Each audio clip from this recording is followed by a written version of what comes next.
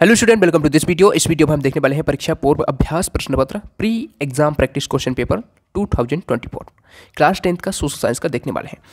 Class tenth के ही सभी subject के प्रैक्टिस क्वेश्चन पेपर आपको प्लेलिस्ट पे मिल जाएँगे तो आप लोग विज़िट ज़रूर करें।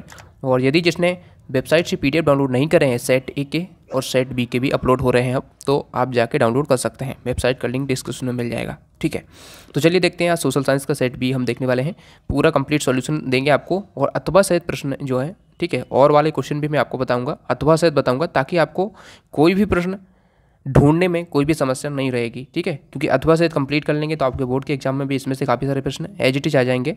तो इसलिए मैंने अथवा सहित आपको कंप्लीट सॉल्यूशन बताया है। सबसे पहले यहाँ पर देखिए सही विकल्प आप हम्म, यहाँ पर दिए गए हैं। तो क्वेश्चन नंबर एक देखिए निम्नलिखित में से किस राज्य में सीढ़ीदार खेती की जाती है? सीढ़ीदार खेती किस राज्य में की जाती है? तो करेक्ट आंसर इसमें हो जाएगा ऑप्शन नंबर डी ठीक है? उत्तराखंड। किसी देश की आर्थिक शक्ति का आधार क्या होता है? तो कृषि उद्योग उस देश के आर्थिक शक्ति का आधार होते हैं। अगला देखिए, अफ्रीका में परसों में फैली बीमारी थी, रेंडर पेस्ट। ठीक है? तो इसमें सा ऑप्शन करेक्ट आंसर हो जाएगा। उसके बाद देखिए सविनय अवज्ञा आंदोलन के समय भारत के वायस राय थे। करेक्ट आंसर है लॉर्ड इरविन ठीक है? संसार के अधिकतर देशों में सरकारें विद्यमान हैं तो लोकतांत्रिक सरकारें विद्यमान हैं। कुल उत्पादन की दृष्टि से विकसित देशों में इस क्षेत्र का प्रभाव अधिक दिखाई देता है। तो इसमें करेक्ट आंसर क्या हो जाएगा? तृतीयक। अगला देखिए। ठीक है तो इस, प्र, इस प्रकार से आंसर हो जाएगा। उसके बाद देखिए आगे बढ़ते हैं हम। ये आपके इंग्लिश मीडियम में देखें यहाँ पर क्वेश्चन सेकंड देखिए रिक्त स्थान रिक्त स्थान भरना है। गांधी जी के दर्शन पर 1974 में सुमेसर खालिस्तान में संसाधनों के उपयोग का उल्लेख है। तो गांधी जी ने एक दर्शन मतलब गांधी जी का एक दर्शन था, जिसका नाम क्या था? उसका नाम था स्मॉल इज़ ब्यूटीफुल ठीक है? स्मॉल इज़ ब्यूटीफुल उसका नाम था, उस दर्शन का, ठीक है? तो इसमें आपको यही भरना है, या फिर हिंदी में तो वैसे नहीं भरना है, ऐसे भर सकते हैं आप स्मॉल इज़ ब्यूटीफुल उस दर्शन का नाम था, ठीक है? उसके बाद देखिए हीराकुंड बाँध उड़ीसा राज्य में किस राज्य में है? उड़ीसा में उसके बाद देखिए, जब फ्रांस छींकता है तो बाकी यूरोप को सर्दी जुकाम हो जाता है। यह कथन किसका है? करेक्ट आंसर हो जाएगा, मेटर निच। अगला देखिए, कपास और ऊन आदि को कटाई के लिए तैयार करना क्या कहलाता है? बुनाई कहलाता है। वीविंग जिसको बोलते हैं, बुनाई। इंग्लिश में वीविंग बोलते हैं। किताबों का सुलेखन करने वाले को क्या कहा जाता है? सुलेखक। ठीक है। बेल्जियम की राजधानी क्या है? बेल्जियम की राजधानी करेक्ट आंसर है ब्रुसेल्स। ठीक है। इस प्रकार से करेक्ट आंसर हो जाएँगे। अभी मैं आपको कॉपी में लिखित आंसर भी बताऊँगा तो कोई दिक्कत नहीं है। आप लोग उसमें मैच कर सकते हैं सभी।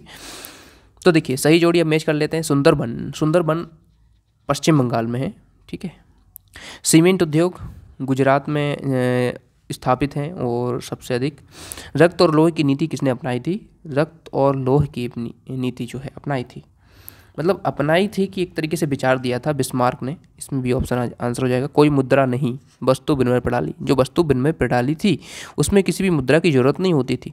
वस्तुओं को आदान प्रदान करते थे, जिसे हमें गेहूँ का गेहूँ की ज़रूरत है तो हम गेहूँ आपको आपसे ले लेंगे और मेरे पास यदि सोयाबीन है तो मैं आपको सोयाबीन दे दूँगा, ऐसा वस्तु बिन में, ठीक है? श्रीलंका श्रीलंका क्या है? द्वीपीय देश है। आठवीं अनुसूची के अंतर्गत भाषाओं का उल्लेख है संविधान में। उसके बाद देखिए सत्य असत्य देख लेते हैं true false Buxa tiger reserve Madhya Pradesh में है तो ये गलत है, असत्य है। ठीक है? उसके बाद चाय, गन्ना, काफ़ी, केला, रोपड़ फ़सलें हैं तो ये सही है, ठीक है? अगर देखिए, भारतीय समाज मातृ प्रधान समाज है तो ये असत्य है।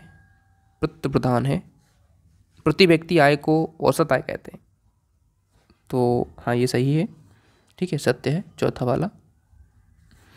वैश्वीकरण से शिक्षित और संपन्न लोगों का नुकसान होता है तो ये गलत है। नुकसान कैसे होगा? चीन में बहुदलीय शासन व्यवस्था है, ये असत्य है। चीन में एक दलीय शासन व्यवस्था है। चलिए बढ़ते हैं आगे। पांचवा क्वेश्चन है, एक वाक्य में उत्तर लिखना है। Write the answer in one sentence. एक सेंटेंस में आपको आंसर लिखना है तो इसमें देखिए, विश्व की सबसे लंबी राजमार्ग सुरंग कौन सी है? राजमार्ग सुरंग, विश्व की सबसे लंबी। अटल, टनल, अटल सुरंग।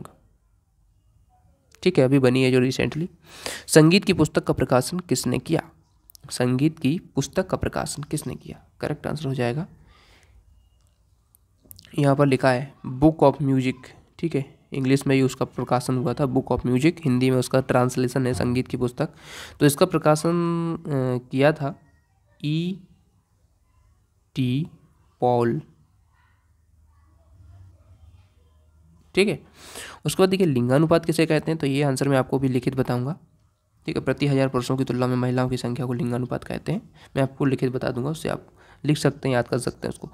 चुनावी यानी चुनाव हारने वाले दल को क्या कहते हैं? तो विपक्षी दल कहलाता है। जो चुनाव हार गया, वो विपक्षी हो जाएगा। जब हम लैंगिक विभाजन की बात करते हैं तो हमारा अभिप्राय क्या होता है? इसको थोड़ा आंसर, थोड़ा इसमें बड़ा है तो मैं आपको अभी बताऊँगा लिख के। स्वयं सहायता समूह के संगठन का मुख्य उद्देश्य क्या है? यानी गठन का मुख्य उद्देश्य क्या है? तो ये भी आंसर मैं आपको बताता हूँ। पूरे क्वेश्चन आप देख लीजिए, सबके आंसर मैं एक एक करके अथवा सहित कंप्लीट करवा देता हूँ आपको, ठीक है? और वेबसाइट पर आप जाइए पीडीएफ के लिए जानकारी टीच अपनी वेबसाइट है गूगल पर सर्च कर सकते हैं, ये लिखा हुआ है यहाँ पर। यही आपको गूगल में डाल देना है और फ़र्स्ट वेबसाइट आ जाएगी, उस पर चले जाइए और उस पर आपको क्लास टेंथ के, ठीक है? जैसे ही आप क्लास टेंथ के पोस्ट आपको दिख जाएँगे, उस पर क्लिक कीजिएगा और उसमें ही सभी विषयों के आपको मिल जाएँगे। सॉल्यूशन, ठीक है? सेट ए के तो सभी मैंने अपलोड कर दिए हैं। सेट बी के काम लगातार चल रहा है वेबसाइट पे। उसमें सेट बी के मैं अपलोड कर दूँगा जल्दी। और जैसे कि आप ये वीडियो देख रहे हैं, इस वीडियो के बाद आपको सेट बी के भी मिलने शुरू हो जाएँगे। ठीक है? तो ये सभी क्वेश्चन देख लीजिए। क्वेश्चन मैं आपको इसलिए दिखा रहा हूँ ताकि आपको मतलब कोई दिक्कत नहीं हो कि क्वेश्चन यही है कि दूसरे हैं। तो क्वेश्चन आप पहले देख लीजिए। मैंने इन्हीं के आंसर कंप्लीट बताए हैं। ठीक है? ये मानचित्र भी इसमें दिया गया है। चलिए देखते हैं। सेट बी सामाजिक विज्ञान। तो देखिए सेट वी के आपके सामाजिक विज्ञान के ये सॉल्यूशन रहेंगे। उत्तराखंडी में सब बता चुका हूँ, वही आंसर है। यहाँ पर आप सभी देख सकते हैं। क्वेश्चन नंबर सेकंड है, जो उसका आंसर इस प्रकार से हो जाएगा। क्वेश्चन थर्ड देख लीजिए। ये सही जोड़ी आपकी हो जाएँगी। ठीक है? ये सत्य हो जाएँगे, जो कि मैंने आपको बता दिए हैं। पाँचों क्वेश्चन जिसमें देखिए, ये सभी आंसर हो जाएँगे। ये मैं बता रहा था आपको, लिंग के आधार पर अलग अलग कार्यों का विभाजन किया जाता है। तो ये आपका आंसर पाँचवें वाला का हो जाएगा, एक शब्द वाक्य के, और ये छठे का हो जाएगा। सेवा प्रदान करना, सूक्ष्म वित्तीय की उपलब्धता। तो ये सभी क्वेश्चन हो जाएँगे, ठीक है? अब प्रश्न छः देखिए। डब्ल्यू ई सी डी ने सतत पोषणीय विकास की सीधी, सरल और बृहद स्तर पर परिभाषा प्रस्तुत की है। तो उसकी परिभाषा क्या है? सतत पोषणीय विकास क्या होता है? ये इसमें परिभाषा आपको बतानी है। तो एक ऐसा विकास जिसमें भविष्य में आने वाली पीढ़ियों की आवश्यकता को पूर्ति पूर्ति को प्रभावित किए बिना वर्तमान पीढ़ी द्वारा अपनी आवश्यकताओं की पूर्ति की जाती है। तो ये आपका सतत पोषणीय विकास हो जाएगा, ठीक है? मेरे ख्याल से मेरे मुझे क्वेश्चन आपको दिखाते जाना चाहिए ताकि आपको कोई समस्या ना हो। चलिए मैं क्वेश्चन भी दिखाते चलता हूँ। तो यहाँ पर आप प्रश्न देख सकते हैं, सतत पोषणीय विकास किसे कहते हैं? सस्टेनेबल डेवलपमेंट ठीक है? तो क्वेश्चन नंबर सिक्स था, इसी का मैंने आपको आंसर बता रहा हूँ, ठीक है? तो चलिए, ये आपका आंसर प्रश्न क्रमांक छः का हो जाएगा, ठीक है? प्रश्न छः का अथवा वाला क्वेश्चन इसमें दिया गया, काली मिट्टी की विशेषता बतानी। तो इसका आंसर इस प्रकार से लिख देंगे। काली मिट्टी का उपयोग लावा के प्रवाह से हुआ है। मूलतः इसमें मैग्मा के अंश, लोहा और एल्यूमिनियम की प्रधानता पाई जाती है। इसमें अधिक समय तक स्थिरता धारण करने की क्षमता होती है। इसमें अधिक समय तक नमी धारण करने की क्षमता होती है। ठीक है? तो प्रश्न छः का अथवा हो जाएगा। प्रश्न सातवां क्वेश्चन है। अभी अवर्गीकृत वन किसे कहते हैं? ठीक है, ये क्वेश्चन देख लीजिए। अवर्गीकृत वन और वन्य जीव संरक्षण के कोई दो उपाय। ठीक है दोनों प्रश्न के चलिए आंसर हम देख लेते हैं। ये आपका अवर्गीकृत वन हो जाएगा, किसे कहते हैं, ठीक है? और ये हो जाएँगे वन्य जीव संरक्षण के उपाय। कुछ इसमें चार मैंने बताए हैं, आप तीन ज़रूर से कर लें याद, क्योंकि फिर भूल जाते हैं पेपर में। तो चार कर लेंगे तो दो तो आपसे बन ही जाएँगे। तो ये आपके हैं गैरकानून तरीके से, वन्य जीवों के शिकार और वन्य जीवों, उत्पादों के अवैध व्यापार पर प्रतिबंध लगाना और वन विनवास पर रोक लगाना, वन क्षेत्र में वृद्धि करना। ये सभी हो जाएँगे। चलिए देखते हैं अगला। अगला क्वेश्चन देख लीजिए, पहले तो क्वेश्चन हम देख लेते हैं। क्वेश्चन इसमें है, कर्तन दहन प्रणाली से आप क्या समझते हैं? भारत सरकार द्वारा किसानों को लाभ हेतु कौन कौन से प्रयास किए जा रहे हैं? भारत सरकार द्वारा। तो ये आपके आठवें का क्वेश्चन हम देख लेते हैं, ठीक है? आठवें के दोनों ही प्रश्न हैं, इनको हम सॉल्यूशन कर लेते हैं। तो देखिए, आठवा का कर्तन दहन प्रणाली जो है, वो स्थानांतरित कृषि जो है, आपने सुनी होगी कि पेड़ों को ऐसे काट दिया जाता है और उनको जला दिया जाता है। फिर वहाँ पे भूमि को उपजाऊ बना के फ़सल उगाई जाती है। ठीक है? तो ये आपका आंसर हो जाएगा प्रश्न आठ का। आठवीं के बाद आठवीं का अथवा क्वेश्चन इसमें पर कह रहा था आपको, भारत सरकार द्वारा किसानों के लाभ हेतु कौन कौन से प्रयास किए जा रहे हैं? ठीक है? प्रधानमंत्री किसान सम्मान निधि योजना, ये तो रिसेंटली अभी चल रही है। मतलब ये सभी चल रही हैं, ये योजनाएँ हैं जो चलाई जा रही हैं भारत सरकार द्वारा। ठीक है? तो सभी आप समझा सकते हैं सभी को। उसके बाद देखिए नौवा क्वेश्चन है, कृषि उत्पादों से संबंधित उद्योग क्या कहलाते हैं ये इसमें बताना है? यानी कि इसमें ये बताना है कि घरेलू जो उद्योग होते हैं, वो क्या होते हैं? ठीक है तो इसका आंसर आप देख सकते हैं। प्रश्न भी मैं आपको दिखा दूँ यहाँ पर। नवाए घरेलू उद्योगों से आप क्या समझते हैं, क्या जानते हैं इनके बारे में? और अथवा में आधारभूत उद्योग क्या होते हैं? ठीक है, दोनों ही प्रश्न हैं, इनको हम देख लेते हैं। ठीक है तो ये प्रश्न क्रमांक नौ और नौ का अथवा वाला है, ये वाला आधारभूत उद्योग, जिनके उत्पादन है कच्चे माल पर दूसरे उद्योग निर्भर हैं। जैसे लोहा इस्पात का जो उद्योग है, क्योंकि लोहे से सभी चीज़ें बनती हैं। आप देख सकते हैं कि लोहे से क्या क्या बन सकता है। लोहे से मोटर गाड़ियाँ बनती हैं, उनके पार्ट्स बनते हैं तो आप समझ सकते हैं, ठीक है? नौवा क्वेश्चन हो गया, दसवा देख लेते हैं। दसवा क्वेश्चन हमसे क्या कर रहा है? सीमांत सड़कों के कोई दो महत्व लिखिए और सड़क परिवहन के कोई दो महत्व लिखिए। तो दोनों ही प्रश्न इनके आंसर हम चलिए देख लेते हैं। देखिए, सीमांत सड़कों के दो महत्व, ये पहला महत्व, ये दूसरा है तीसरा, ये तीन महत्व हो जाएँगे। और अथवा वाला क्वेश्चन है, सड़क परिवहन के दो महत्व। छोटी दूरी के लिए मूल्यवान है ये, और घर में सेवा, यानी रेलवे दूर और दूर दराज के गाँव में नहीं जा सकता, जबकि सड़क परिवहन किसी भी स्थान पर पहुँच सकता है, चाहे वह स्थान कितना भी दूरस्थ हो, और कैसा भी वहाँ का रास्ता हो। मतलब वहाँ पर यदि सड़क बनाई जा सकती है तो वहाँ पर पहुँचा जा सकता है, ठीक है? लेकिन रेलवे के लिए क्या चाहिए? एक समतल ज़मीन चाहिए होती है, और समतल ज़मीन नहीं है तो रेलवे वहाँ पर नहीं पहुँच सकता, ठीक है? तो सड़क परिवहन वहाँ पर पहुँच सकता है। तो ये आपका आंसर हो जाएगा। देखिए, वेबसाइट पर पूरा पीडीएफ आपको मिल जाएगा तो पीडीएफ के लिए आप वेबसाइट को ज़रूर ज्वाइन करें, ठीक है? वेबसाइट को ज्वाइन नहीं करें, टेलीग्राम को ज्वाइन करें, वेबसाइट पर विज़िट करें, ठीक है? उसके बाद देखिए, प्रश्न दस का देखिए। दस का हो गया, ग्यारह का देख लेते हैं। ग्यारहवा क्वेश्चन हमसे पहले क्या कह रहा है, देख लेते हैं। पिकेटिंग किसे कहते हैं? ठीक है what is picketing and Jallianwala Bagh हत्याकांड कब हुआ और कहाँ हुआ था, ये आपको बताना है। प्रश्न ग्यारह, चलिए देख लेते हैं, दोनों ही प्रश्न है। तो देखिए पिकेटिंग मतलब होता है प्रदर्शन या विरोध का एक ऐसा रूप जिसमें लोगों, लोग किसी दुकान, फैक्ट्री या दफ्तर के भीतर जाने का रास्ता रोक लेते हैं। ये पिकेटिंग होता है, एक विरोध करने का एक तरीका होता है विरोध प्रदर्शन करने का एक तरीका होता है, ठीक है?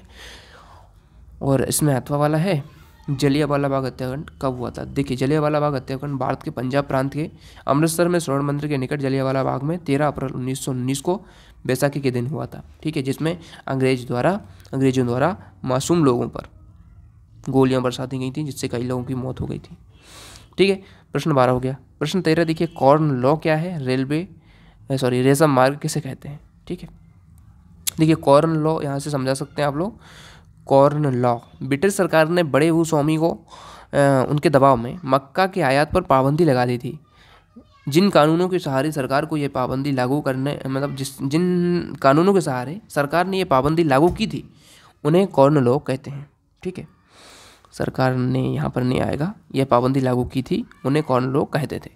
ठीक है, ये प्रश्न बारह का आंसर हो जाएगा। प्रश्न बारह के अथवा में क्वेश्चन पूछा गया है, रेशम मार्ग किसे कहते हैं? तो रेशम मार्ग देखिए। प्राचीन समय में रोम से चीन तक 6000 किलोमीटर के व्यापारिक मार्ग को रेशम मार्ग कहा जाता था, जिससे भारत, ईरान और मध्य एशिया, चीन और इटली के मध्य रेशम, ऊन और अन्य वस्तुओं का व्यापार होता था। ठीक है तो ये रेशम मार्ग आप लिख सकते हैं आंसर। प्रश्न तेरह का देखिए, प्रश्न तेरह हमसे कह रहा है, पूर्व औद्योगिकरण किसे कहते हैं? फ्लाइंग सेटल किसे कहते हैं? ये दोनों ही प्रश्न है, चलिए इनके हम सॉल्यूशन देख लेते हैं। पहले तो देख लीजिए, पूर्व औद्योगिकरण क्या होता है? तो ये आप इसका आंसर कर लेंगे, और उसके बाद flying shuttle flying shuttle John के द्वारा आविष्कृत कपड़ा बुनने की एक मशीन है। इस मशीन का आविष्कार सत्रह सौ तैंतीस ईस्वी में हुआ था। इस मशीन के द्वारा कपड़ा बुनने की पद्धति में तेज़ी आई थी। तो सिंपल सा है फ्लाइंग शटल एक कपड़ा बुनने की मशीन होती है और इसका आप बता सकते हैं किसने आविष्कार किया था और कब किया था। ठीक है? क्वेश्चन नंबर फोर्टीन देखिए, सरकार के अंग क्या है? यानी राजनीतिक दलों के प्रमुख अंग क्या है? गठबंधन सरकार किसे कहते हैं? दोनों ही प्रश्न है। चलिए देख लेते हैं आंसर।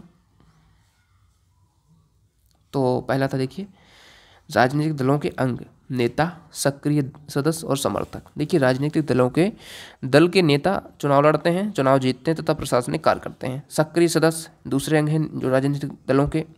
ये वे लोग हैं जो दल के समर्थक से धीरे धीरे नेताओं के कार्यकर्ता बन जाते हैं। समर्थक होते हैं, आमतौर पर नेता के समर्थक होते हैं। ठीक है? जैसे कई जनता में लोग होते हैं जो समर्थक होते हैं किसी दल के, ऐसे।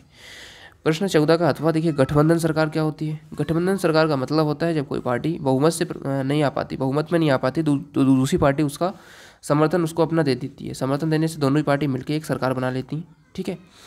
तो यही गठबंधन सरकार होती है ठीक है? चौदह हो गया। पंद्रहवा देखिए लोकतंत्र किस तरह उत्तरदायी है? जिम्मेदार जिम्मेवार और वैध सरकार का गठन करता है। लोकतंत्र किस तरह उत्तरदायी जिम्मेवार। और वैध सरकार का गठन करता है। भारत एक लोकतांत्रिक देश है, स्पष्ट करना ये दोनों ही प्रश्न है, चलिए हम देख लेते हैं। पहले तो पंद्रहवा क्वेश्चन देख लीजिए, इसका आंसर हो जाएगा। लोकतंत्र न केवल एक उत्तरदायी तथा जिम्मेदार सरकार का गठन करता है, बल्कि एक वैध सरकार भी उत्पन्न करता है। तो ये आंसर इस प्रकार से कर लेंगे आप पूरा, ठीक है? पंद्रह का देखिए, अथवा वाला जो क्वेश्चन है, कि भारत एक, लोकतांत्रिक देश है, स्पष्ट करना था। तो देखिए ये आंसर हो जाएगा पंद्रहवा का, ठीक है? मैं बार बार कह रहा हूँ, जानकारी टीच डॉट कॉम वेबसाइट पर ज़रूर विज़िट करें, ठीक है? सॉल्यूशन के पीडीएफ आपको। सेट के तो सभी मिल जाएँगे आपको। सेट बी के भी अपलोड होना शुरू हो गए तो वो भी आपको मिल जाएँगे। इसी प्रकार से पूरा पीडीएफ उसमें मैंने अपलोड कर दिया है, ठीक है? ताकि आपको, देखिए, अभी क्या है, आप लोग स्कूल में जमा कर देंगे कॉपी वगैरह तो फिर आपको आगे के लिए, पढ़ने के लिए भी तो चाहिए तो ये आपके पास कुछ होना चाहिए सॉल्यूशन ठीक है? तो पीडीएफ आप डाउनलोड कर सकते हैं वेबसाइट पर जाके। प्रश्न सोलह आपका कह रहा है इसमें। अंतिम उत्पादन किसे कहते हैं?